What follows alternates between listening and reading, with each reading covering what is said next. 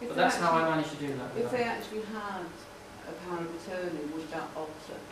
No, we've checked into it. Power of attorney at the moment does not give permission for you to access medical records. Mm-hmm. However, the new Mental Health Act gives certain rights Mm. to mm-hmm. the carers which would allow them to access their records. But power of attorney as it is at the moment doesn't.